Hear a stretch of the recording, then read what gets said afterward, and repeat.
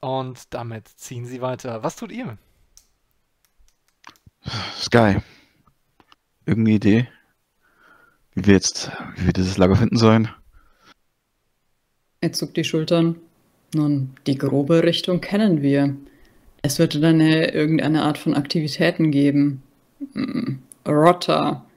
Vielleicht können wir die Spuren finden. Vielleicht werden wir feststellen, dass der Boden verseucht ist und die Tiere sich von diesem Ort entfernt haben. Ich denke, wenn wir nah genug herankommen, werden wir es wissen. Nur mal um das, was jeder denkt, auszusprechen. Wir werden sie einfach so ziehen lassen. Wollt ihr mit ihnen kämpfen? Weswegen? Wenn sie den Falschen in die Hände geraten, die sie manipulieren können, dann sind sie ganz schnell in den Händen unserer Gegner. Wir müssen mit unseren Kräften haushalten. Und außerdem sind diese Bauern sehr geistesstark. Meine wir, sind auf, wir sind auf keinen unserer Versuche hereingefallen. Also ja. Ich denke, sie sind einfach dumm. Und Nun, sie sehen auch den Dummheit, vor lauter Bäumen nicht. Auch Dummheit kann eine Stärke sein. Ja. Oh, fünf Dukaten in die Wortspielkasse.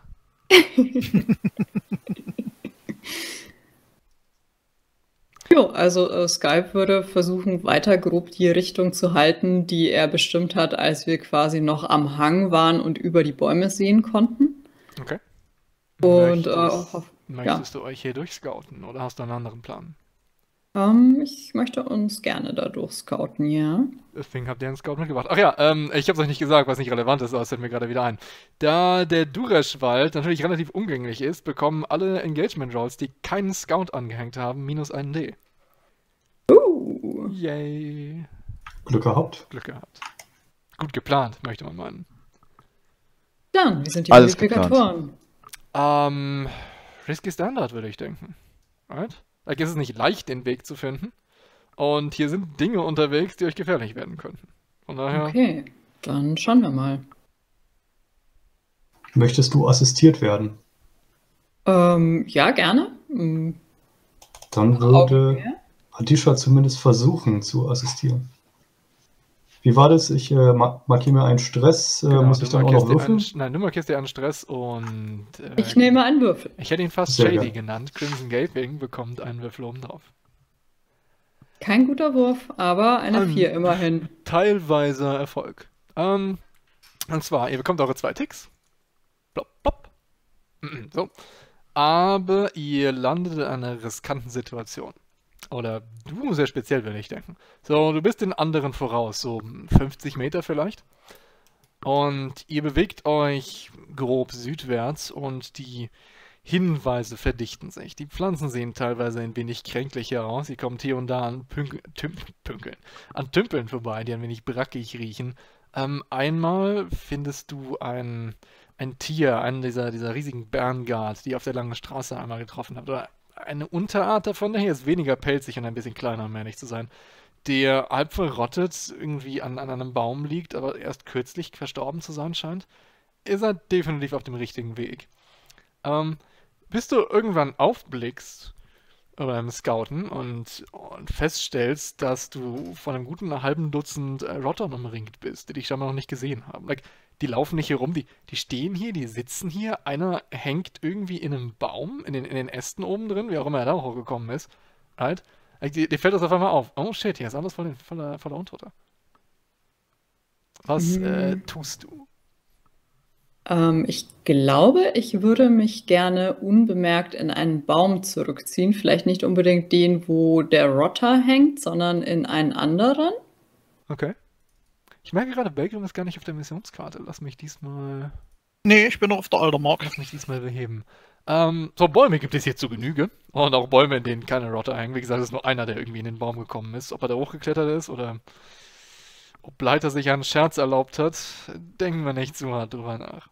Äh, von daher, das sollte keine Schwierigkeit sein. Ähm, das klingt wie Scout? Es geht nicht darum, ob du auf den Baum kommst, sondern ob du unbemerkt auf den Baum kommst, right? Ja, das stimmt. Und wir wären ah. bei Risky Standard. Standard im Sinne von, du extrahierst dich erstmal aus der Situation, aber wir sind halt in einer anderen, vielleicht nicht unbedingt besseren Situation. Äh, Okay, ja, dann äh, schauen wir mal, ob das funktioniert. Wieso bin ich immer noch Ademir? Ich habe eigens mein Token angeklickt. Dann hast du dich auch im Passen. Warte, das ist Map-Tool. Naja, egal, Hauptsache Würfeln funktioniert. Es wird vermutlich was mit Besitzrechten zu tun haben. Das. It'll, it'll be fine. Ist auch nicht so wichtig, right? Das sind ja, die, die Werte sind ja richtig. Ähm, Partial Success. Wie sieht das aus? Erzähl du es mir. Hm, Ich denke, ich schaffe es, mich auf einen Baum zurückzuziehen, aber äh, ich könnte mir vorstellen, dass ich sehr viel mehr Zeit verliere, als ich wollte. Weil ich, ich, hatte die Hoffnung, von dem Baum vielleicht auf einen Nachbarbaum kommen zu können ähm, oder einfach da oben warten, bis die Rotter weitergewankt sind. Aber ähm, ja, jetzt äh, sitze ich in dem Baum und äh, die Rotter gehen nicht. Und es ist auch kein Nachbarbaum gerade äh, greifbar, sodass ich sagen würde, okay, ich kann ohne groß Lärm zu machen auf einen anderen Ast von einem anderen Baum springen. Ja, okay. Und zwar, ähm, die sind da immer noch so. Wir merken dich nicht, aber sie sind da immer noch und die, die gehen auch nicht weg. Und jetzt wieder runter zu klettern wäre natürlich das Allerblödeste. Ähm, das Problem ist der Rest des Squads. Alle, die nicht Crimson Gaping sind. Euer Scout hat sich seit einer Weile nicht zurückgemeldet. Seid ihr noch auf dem richtigen Weg? Ich. Hm, Wir werden es gute, erfa wir werden's erfahren. eben, ist eine gute Frage. Wir, wir, sind, äh, wir haben ja sozusagen nicht die Richtung gewechselt. Er hat nicht gesagt, dass wir die Richtung wechseln sollen, aber sind wir mal gerade ausgegangen. Müsste er nicht schon wieder zurück sein? Hm, er war noch nicht, noch nie so lange weg, ja. Ja, er wird seine Gründe haben. Sollten wir dann hier vielleicht erst einmal warten oder wollen wir weiter voran? Die. Naja, warten wäre sicherer. Sendet er normalerweise irgendein Zeichen oder so, wenn er in Gefahr ist? Wenn er eins senden kann, sicher. Und Crimson, Crimson, du siehst die Halunken, right? Du kannst sie von hier aus perfekt sehen. Aber wenn du jetzt rufst, hast du ein Problem. Verstehe.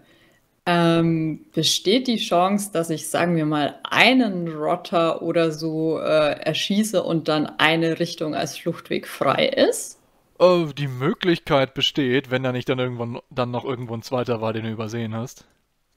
Das wären dann quasi Komplikationen. Das wären dann quasi Komplikationen. Weil jetzt gerade, die laufen direkt auf dich zu. Wenn die nicht aufpassen, sind sie in ein paar Minuten irgendwie mitten in den Typen genauso. Und du kennst ja deine Kameraden, die sind nicht so ähm, unauffällig. So, die haben die dann auch direkt an den Waden hängen. Also denke ich denn, dass wir schon nah dran sind, weil ich meine, prinzipiell wäre es eher ein Vorteil, mit dem ganzen Squad gegen ein paar lächerliche Rotter zu gehen. Das sollte eigentlich kein Problem sein, aber äh, denke ich, dass das dazu führen würde, dass wir, dass wir entdeckt werden? Äh, entdeckt von wem oder was? Ja, wenn ich jetzt irgendwie den Eindruck habe, wir sind schon kurz vor dem Ziel, was weiß ich, weil die Verseuchung so übel ist. Das weiß ich nicht, musst du mir sagen. Also es sieht noch nicht, ich hatte gesagt, wie verseucht es hier aussieht. Okay. Wie laut ist denn der Wald? Also äh, es wird wahrscheinlich nicht so urwaldmäßig. Würde ich sagen, äh, ist jetzt nicht so, als wären hier brüllende Affen alle drei Meter. Eigentlich ist der Wald waldig, right? Es ist raschelt äh, basically Darum- den ganzen Tag. Wichtigste Frage, wie riecht es denn? Ähm, Denn größtenteils du hast ja- normal. Denn du hast ja gesagt, ähm, von dort steigt immer wieder unkontrolliert Rauch auf.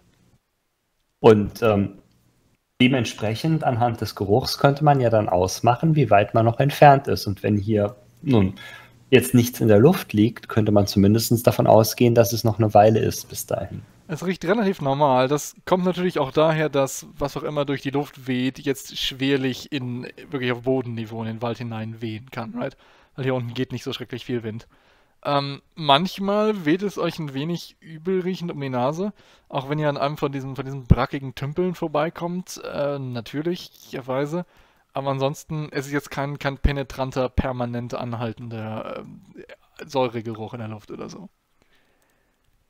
Okay, Also, ähm, ich habe mich. Fragt mich nicht, wie Säure riecht. Ich wollte gerade sagen, Frag Säure mich ist nicht das Problem. Komm, nimm mal eine, nimm mal eine Nase. Salzsäure und dann reden wir nochmal, ob das ein ich, ich, Problem ich, kann, ist. ich kann diese Frage beantworten. Es riecht ganz schön ätzend.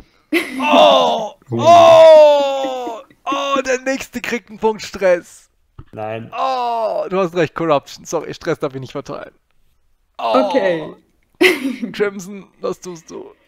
Ähm, ich versuche das mit dem Weg freischießen. Und zwar äh, Sky beobachtet ganz gelassen die Bewegungen von den Rottern und äh, versucht eine gute Lücke abzupassen, wo er quasi äh, in Richtung des Squads entkommen kann, wenn er einen Rotter mit einem schwarzen Pfeil ausschaltet. Ah, die bewegen sich nicht wirklich. Wie gesagt, die, die geht vielleicht bei einer ein paar Schritt oder schiebt sich von links nach rechts, aber ansonsten sind die einfach nur da.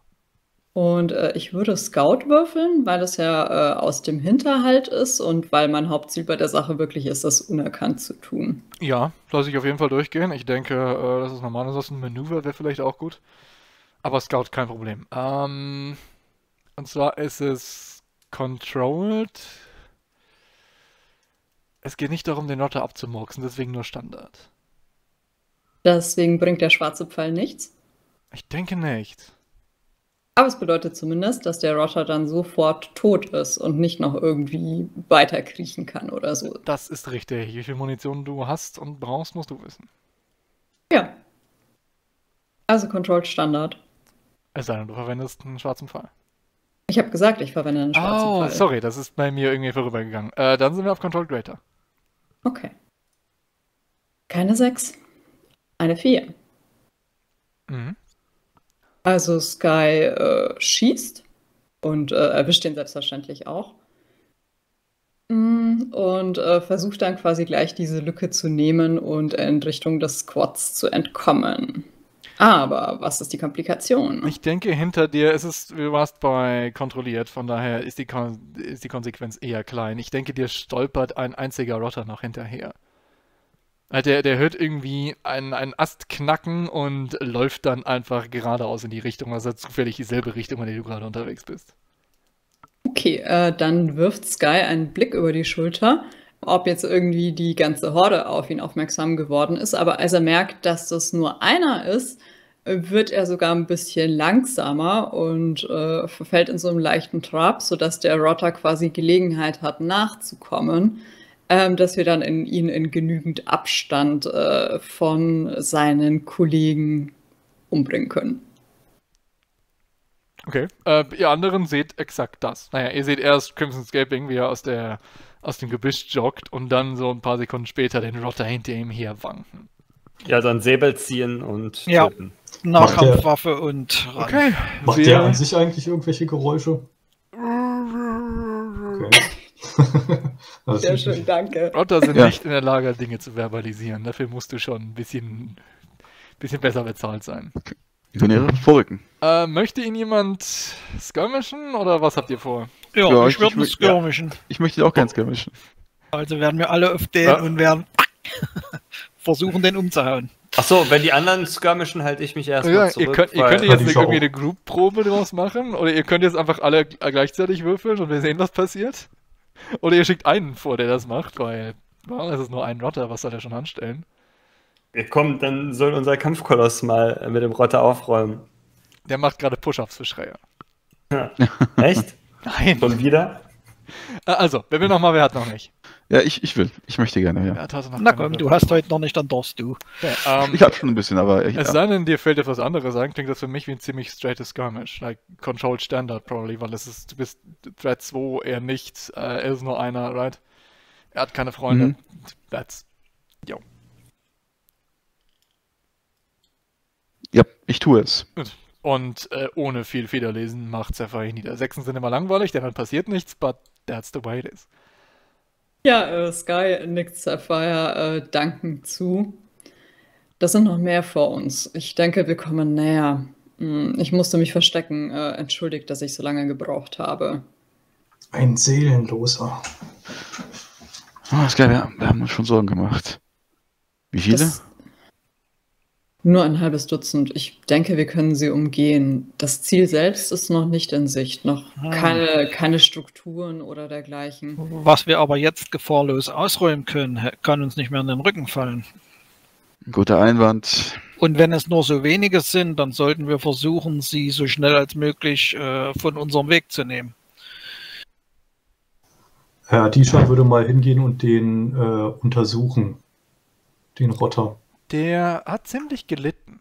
Like, als wäre er schon eine Weile tot und als wäre er ein gutes, langes, weites Stück marschiert, seit er erhoben wurde. Sieht er so aus, als ob er schon länger im Wald wäre? Zum Beispiel, dass irgendwie Moos an ihm wächst oder irgendwelche Pilze oder sowas? Äh, nein, so arg so schlimm ist es dann doch nicht. Also, der hat nicht Also- irgendwie hier gelegen oder so. Also Pilze können sehr schnell an, ähm, an Substrat wachsen. Ich weiß, Wulst? was bedeutet, dass er noch nicht sehr lange hier ist. Sky, wir sollten für die Zukunft uns ein Zeichen überlegen, wenn sowas nochmal passiert. Hättest du uns nicht einen Pfeil zuschießen können?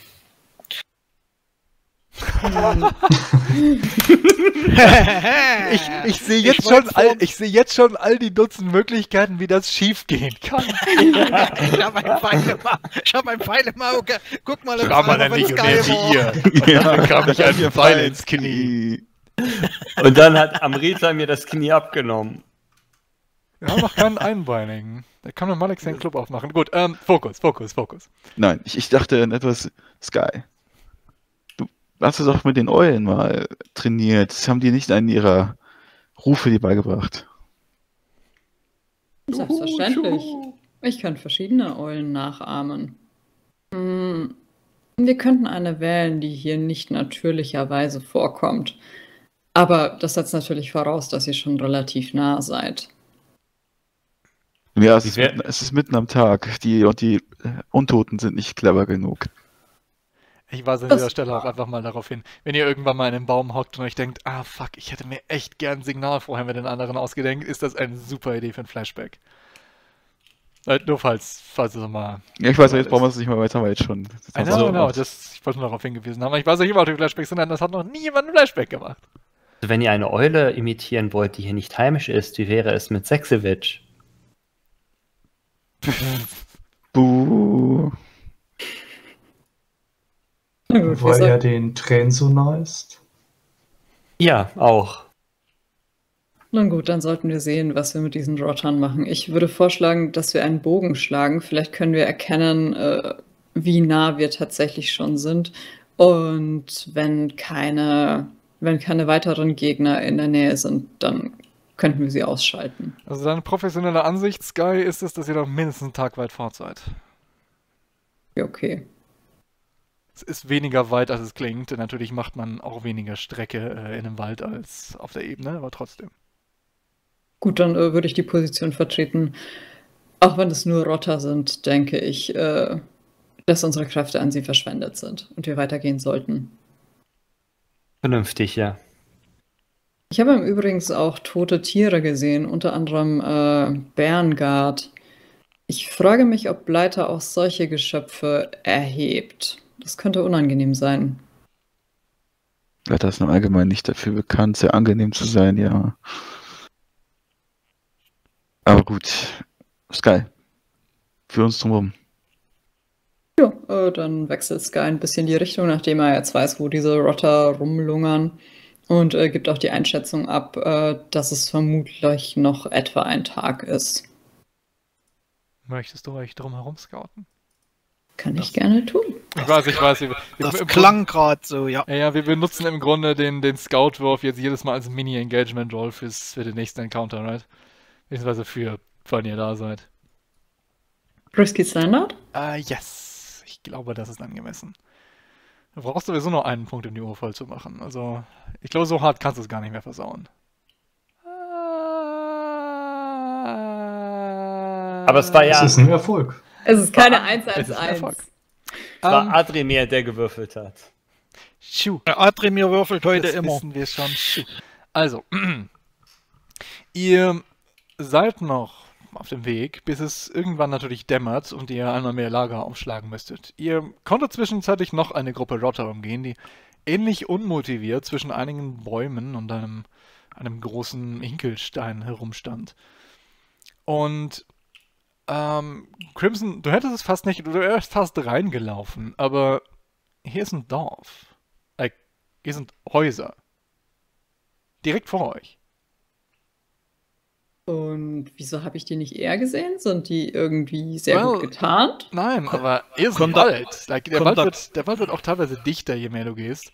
Und die sehen aus, als wären die irgendwie halb eingewachsen. Hm. Das, Dor das Dorf versteckt unter den Blättern. Ja, dann bleibt äh, Sky ziemlich abrupt stehen. Also wir waren jetzt quasi gerade so in der Phase, dass wir nach einem Nachtlager Ausschau halten. Mhm. Das sind Gebäude.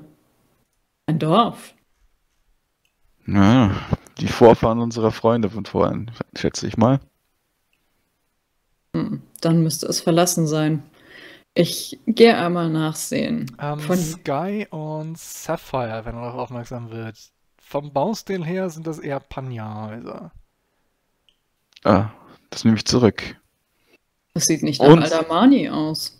Unsere Vorfahren, von denen unsere Freunde geredet haben. Nun, sollten davon noch welche hier sein, werden sie wohl ein bisschen eine andere Einstellung gegenüber Bleiter und dem Wald haben. Ja, sie, sie meinten ja, sie haben sie vertrieben.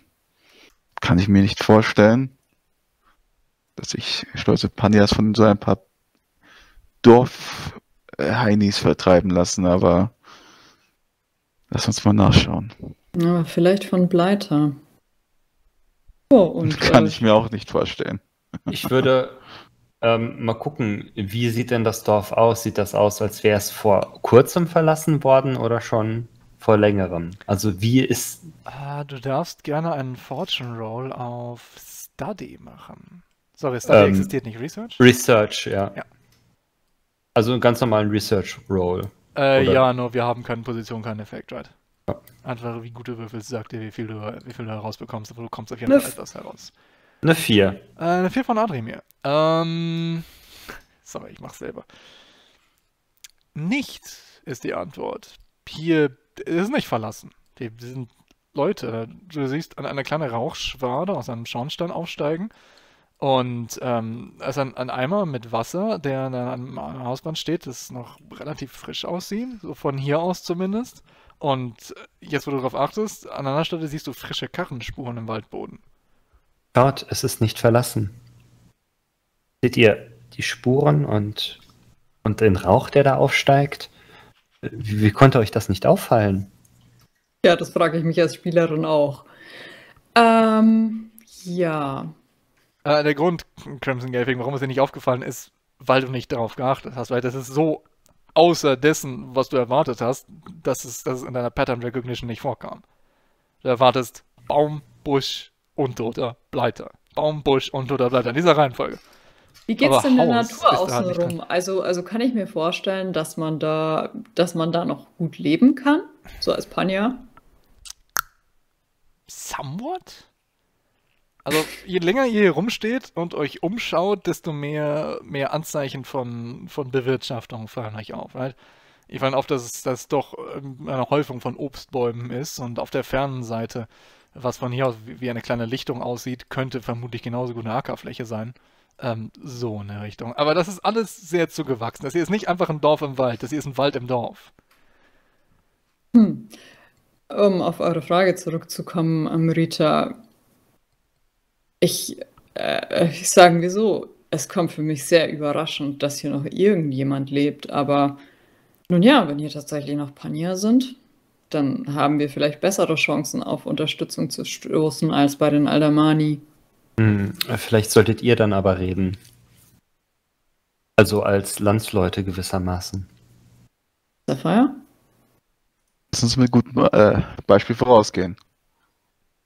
So, ähm, Sapphire, hoch oder tief? Hoch. Ah, So. Hi. Dir fallen zwei Dinge auf. A, dass ein Fensterladen offen steht. Äh, und B, der Pfeil, der aus diesem Fensterladen auf dich hinzu, hin, hinzufliegt, während ihr euch dem Dorf nähert.